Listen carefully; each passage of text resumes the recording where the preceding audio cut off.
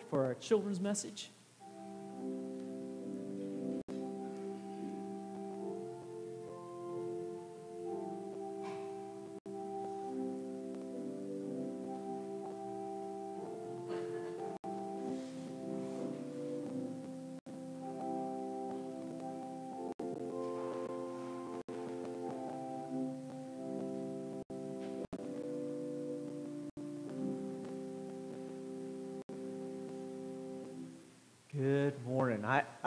Question for you. Do you know how many candles there are with us right now in this room? How many? How many? Take a look. One, two. Do you know what a candle's supposed to do? It's supposed to light up the room. I have an idea. You know what could be fun? What if we turned off all the lights in the room and see how bright they are? Should we try it? Okay, let's ask the sound guy if he could turn the lights off. Oh, now behind you. Oh, man. Those lights are doing their job, aren't they? Wow. Okay, we can turn the lights back up. Now, this, this right here is a special candle holder. How many candles over here? It's one that's lit, and then two, and three, and four, and five. This one is going to get brighter and brighter and brighter, and it'll get brightest on Christmas Eve when Jesus comes. He's the light of the world. Now, when we turned the lights off, you couldn't see as well, could you? Nope. But with the lights on, you can see just fine. Well, Jesus said, I am the light, and you can see. what can we see with Jesus? We can see God. We can see how much He loves us. We can see the truth. We can see how much hmm, we are to. Wow. So Jesus says, You're the light too, and we're going to shine in the world. And the more candles there are, the more oh, it's brighter, isn't it? So let's talk to Jesus about that. Let's fold our hands. Can, can everybody fold your hands? All right, here we go. We're going to pray. You pray after me. Dear Jesus, you are the light of the world. Help me to shine so everyone can see you. Amen. Hey guys, thanks for coming up.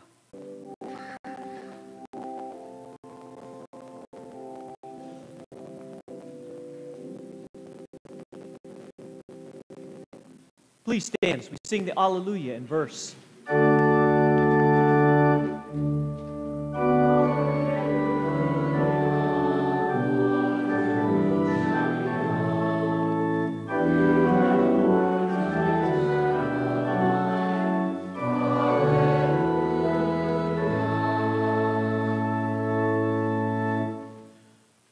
Holy Gospel according to St. Matthew, the 24th chapter.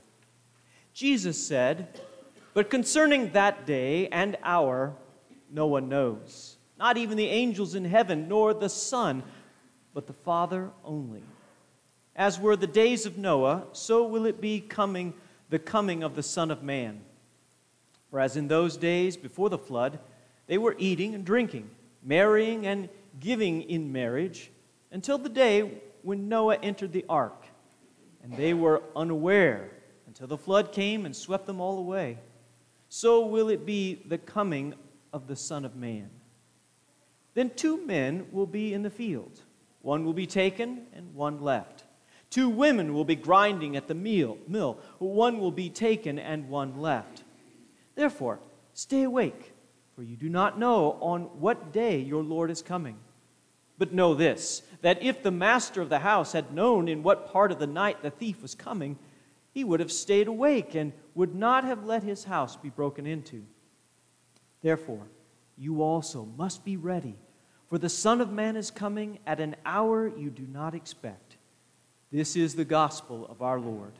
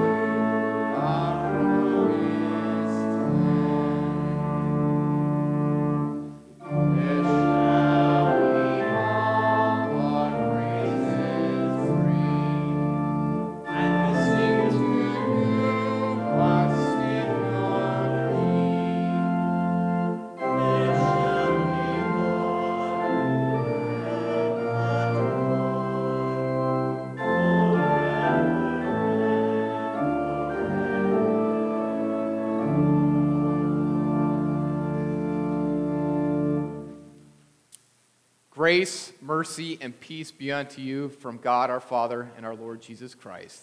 Amen. You may be seated.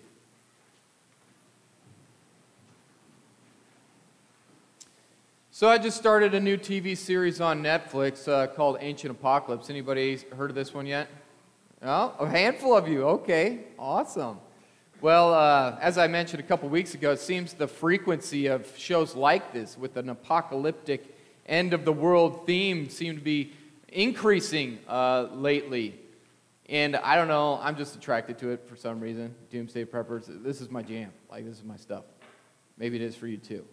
Um, but in this show, the premise is that uh, around 11,000 years ago, there was this cataclysmic event that involved flooding and heavy rainfall that totally decimated the world, wiped out civilizations, wiped out nearly the entire human population.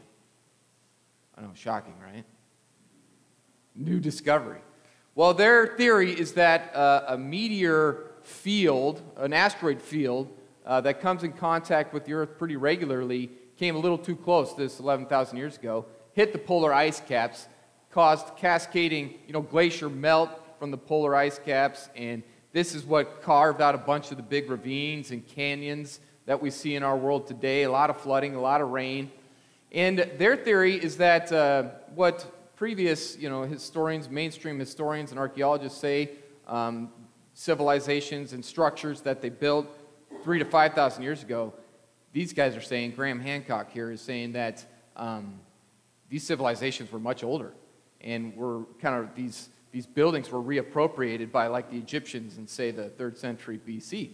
But really, they were much older structures, and a lot of them are underwater and they, they go through the show and they, you know, explore these underwater um, human remains of buildings and stuff.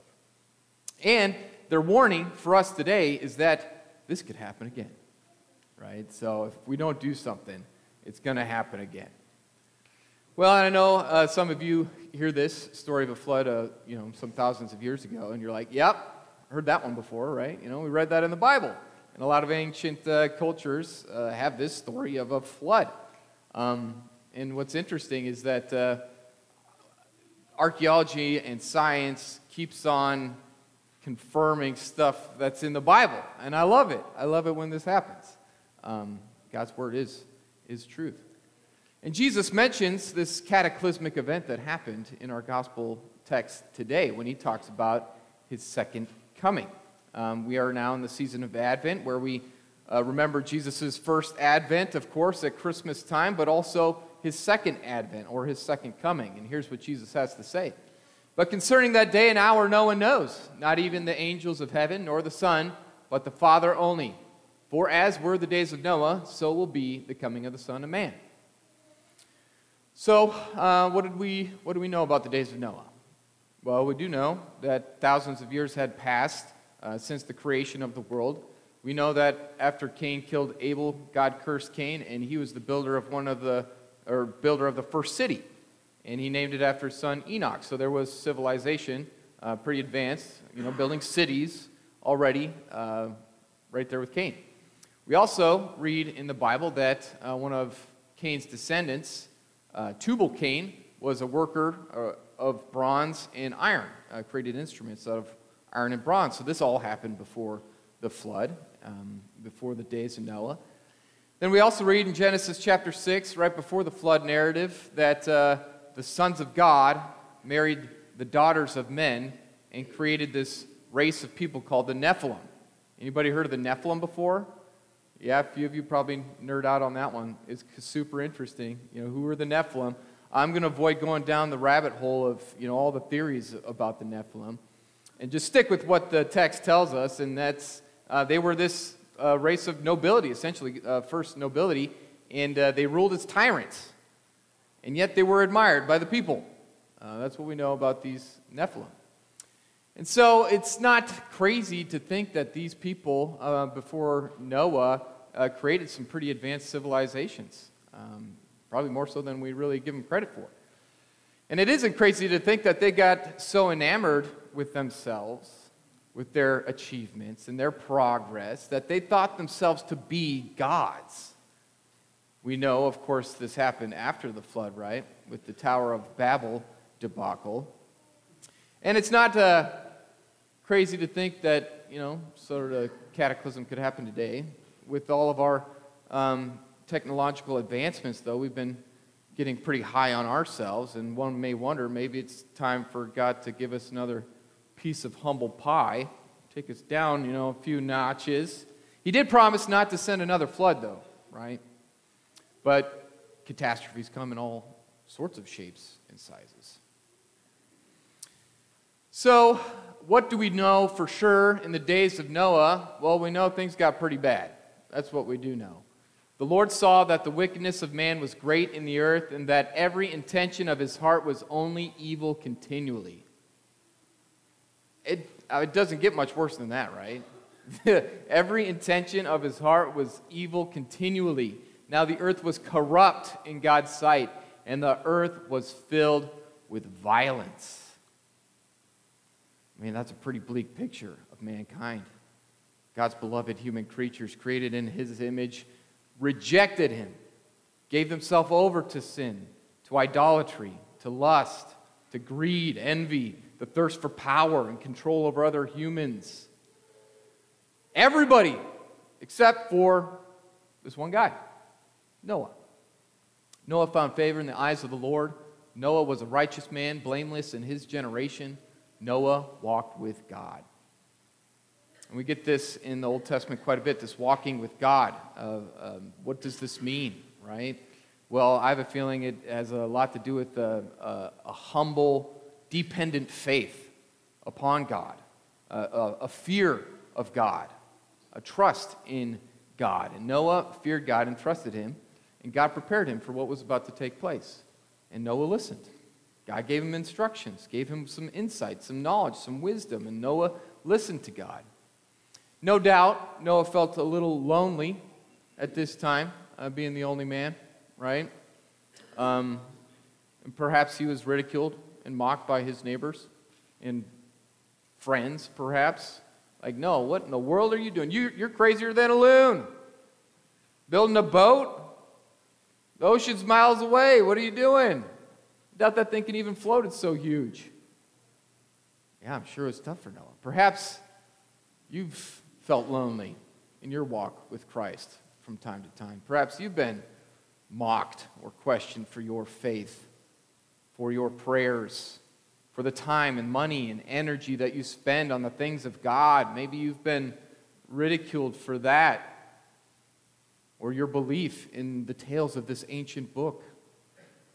Or perhaps you've been mocked for your belief that Judgment Day is indeed coming and that everyone ought to repent and believe the good news or suffer the consequences. Well, Noah was vindicated for his actions. He was faithful, and the floodwaters came.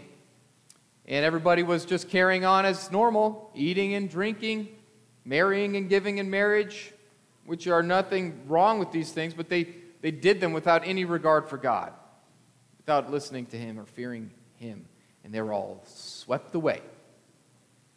And it came all of a sudden. And Jesus says, So too will be the coming of the Son of Man. Jesus tells his disciples seven times in the Olivet Discourse, that's where we're at in Matthew here, that they will not know when he will return. And these words can seem a bit counterintuitive, okay? You will not know when the Son of Man returns. Jesus says, I don't know. The angels don't know. Only the Father in heaven knows. So don't try to predict it, okay? That's what Jesus is saying here. No one knows. And he meant it. And, but there, that doesn't stop people from guessing, right? We get plenty of this. I don't know if you've seen this meme lately or one like it. Donald Trump announces 2024 presidential run. Me frantically checking my DISP books. This is dispensationalism. Um, you can look that up later. Charts in the last verse of it as well to figure out which chapter of Revelation this puts us in. There's a lot of false teaching out there around the end times, okay? A lot of, and it's led to a lot of destructive stuff. And a lot of people make money off of it, writing books and then selling them. Don't buy them. Stop it. You can't predict it. Jesus says no one knows. No one knows. And the counterintuitive part about it is, is this. You might expect Jesus to say, Don't worry about it. Since you don't know, don't worry about it. But instead, he says, Keep watch. Be prepared. Get ready. Anticipate it. It's coming. It might come sooner, it might come later, but be ready. Trim the lamps. Get ready for his coming. So, if you have not been keeping watch for Jesus' coming, I have it on good authority, all authority in heaven and on earth, to start doing so now. Get ready. Keep watch. If you have been watching and you have grown weary, that's understandable. It's been 2,000 years since Jesus said these words, right? And you may think to yourself, uh, when Jesus says, I'm coming soon, certainly he would have come by now. If that's you, I have it on good authority to repent and keep watch, for Jesus is coming. I have two reasons to keep watch. Number one, because of where you are. Like me, you are here on earth, and it's filled with brokenness and incompleteness, sin, violence. This can be overwhelming, right? Keep watch because of where you are. Here on earth, we sure we have some beauty. Yes, we have goodness and truth. And God's light shines through, especially here in His church, where He gives us His gifts, His word that sheds light on our lives and on His love for us. And He pours it out in the sacrament of the altar here and forgives us our sins. So there is good and beauty, but man, there's a lot of brokenness. There's lies, deceit, insults, and curses, betrayals, deception, direct character assassination. This happens even in God's church, and you've committed these things. There's sickness and death. We've seen all too much of it lately in our congregation grief and mourning. One believer is healed, and another dies way too young and the grief and the sorrow comes crashing in like waves crashing on a beach. The flood comes, disaster strikes. So we must be prepared. We must keep watch. I'll tell you this you or somebody you love, if it hasn't already happened, will develop a chronic illness that leads to death. That's a fact of life. So be prepared. Keep watch. Worst of all, our love for one another grows cold. And it's been happening for so long that we get used to it. That's the danger. We get used to sin. Now, I remember uh, one of the summer breaks during college, I went with my buddy up to northern Nebraska to work on his farm. He grew up on a farm in northern Nebraska, and, and I had a blast. It was fun, it was interesting, it was hard work. Uh, I remember riding a four wheeler and jumping off of it so I could tackle a calf so my buddy could come and tag it. That was very interesting. Uh, I rebuilt fences, uh, helped weld a corral together for the, for the cows, and uh, I also got uh, the opportunity to work with pigs. Anybody work with pigs? Yeah? Yeah, so I remember put, we had to put these pigs on a trailer, and so we, I came up to the pig barn and I took a whiff It was like a physical assault. Like it almost knocked me out. Was, and I think my friend noticed my reaction. And he said, Hey, Aaron, don't worry. You get used to the smell. Sure enough, he was right. I did get used to it. It didn't take very long. And it was okay. But it's not okay to get used to the smell in the world. It's not okay. When we go down into the muck and mire of human existence and bear with the sufferings of other people and love our neighbor, it brings a, a godly fear, a deep sorrow, and a longing. How long, O oh Lord, must we wait? Come, Lord Jesus, quickly come. This is God's world, and it shouldn't smell like this, and we shouldn't get used to it. So, I have it on good authority. If you haven't been watching, keep watch now. Be ready, be prepared because of where you are. Second, because of who he is. Keep watch because of who he is. Our Lord Jesus will come in glory. But he has already come to a broken, messed up world to bring light and salvation, to bring hope and comfort. Everywhere he went, there was joy and celebration. You see it at his birth. A chorus of heavenly angels heralded his arrival. Kings traveled miles. These wise men, these magi, traveled for miles to bring gifts to this, to this child. Jesus redefined glory. He came humbly as an infant in a feeding trough for animals. He grew up in wisdom and stature before God and before man.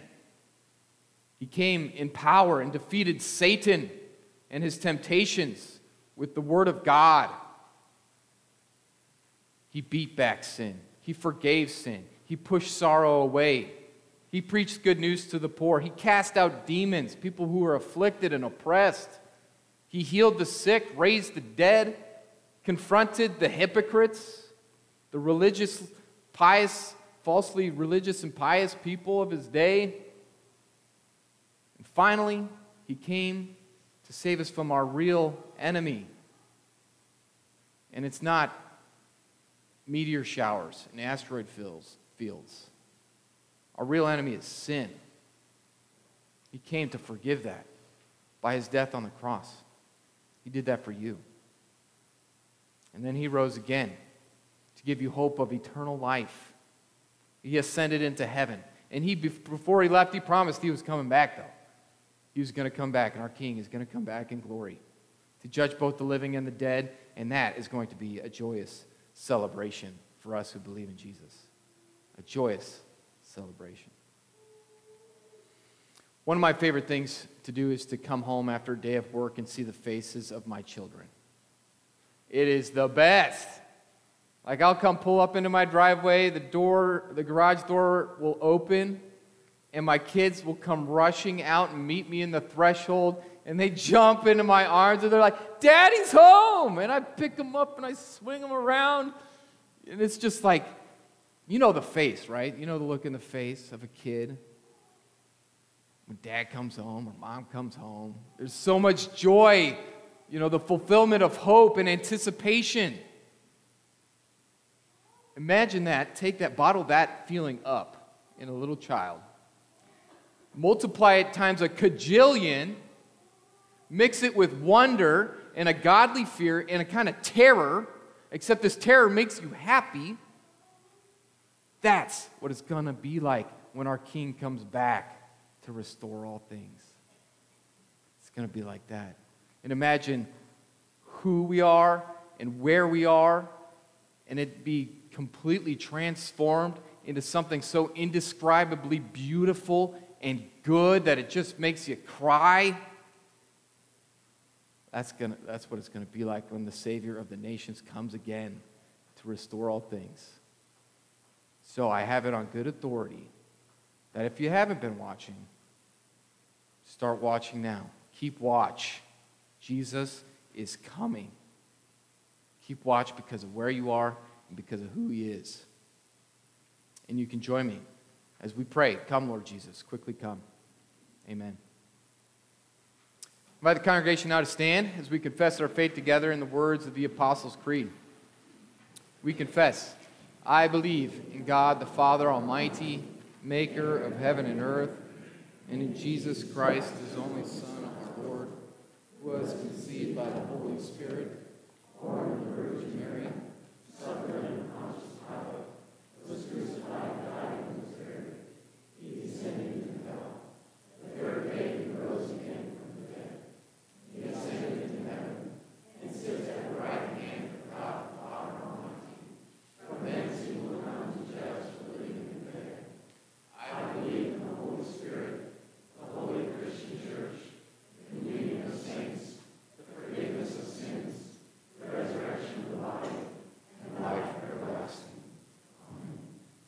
You may be seated as we continue our worship with gathering our tithes and our offerings, giving back to God a portion of all that He has given us to further His mission here in this place.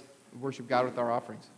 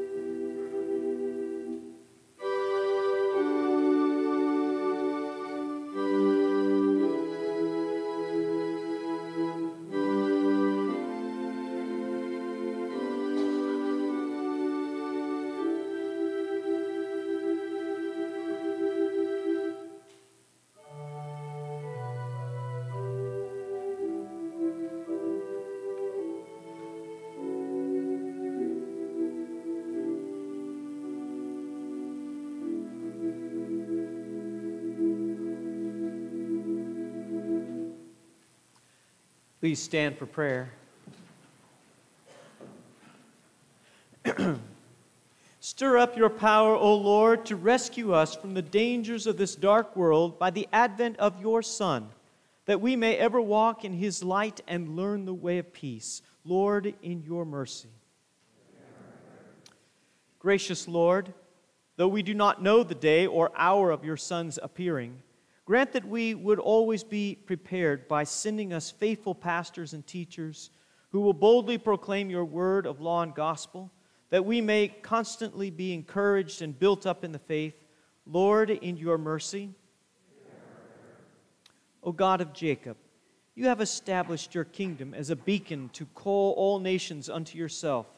Teach us to walk in the light of your peace. Lord, in your mercy. O Lord of love, visit our homes and defend us from the temptation to walk in the works of darkness, that husbands and wives may love one another and raise their children in faith.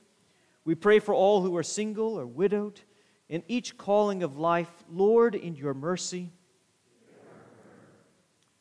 Almighty Lord, you are the authority to whom all temporal authorities must bow. Give wisdom and godly insight to our president our governor, and all who make, administer, or judge laws. Grant peace among the nations, that swords may be truly be beaten into plowshares and spears to pruning hooks. Lord, in your mercy. Compassionate Lord, look with mercy upon the sick. Visit them during these Advent days to comfort with your saving gospel. And as it is your will and your timing, to grant healing and peace. Especially, we lift up before you Marla Broughton, Roberta Davis, Mary Ann Fuller, Beth Jones, Patrice Maurer, Cindy McDonald, and Dale Soderstrom. Lord, in your mercy, O loving Father, you alone know the day and the hour when our Lord Jesus will come again in glory. Keep us steadfast in the one true faith, that we may ever be ready for his reappearing through the same Jesus Christ, your Lord, our, your Son, our Lord, who lives and reigns with you in the Holy Spirit, one God, now and forever. Amen. O oh Lord, we do thank you for this day, and we pray as you've taught us, saying, Our Father, who art in heaven, hallowed be thy name. Thy kingdom come, thy will be done, on earth as it is in heaven. Give us this day our daily bread, and forgive us our trespasses, as we forgive those who trespass against us. And lead us not into temptation, but deliver us from evil. For thine is the kingdom, and the power, and the glory, forever and ever. The Lord bless you and keep you. The Lord make his face to shine upon you and be gracious to you. The Lord look upon you with his favor and give to you his peace.